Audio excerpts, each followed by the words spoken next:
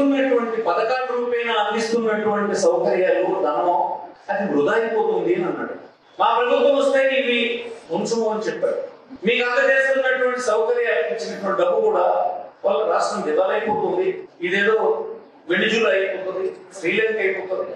ఇలాంటి మాటలన్నీ నాలుగు సంవత్సరాలు చెప్పాడు.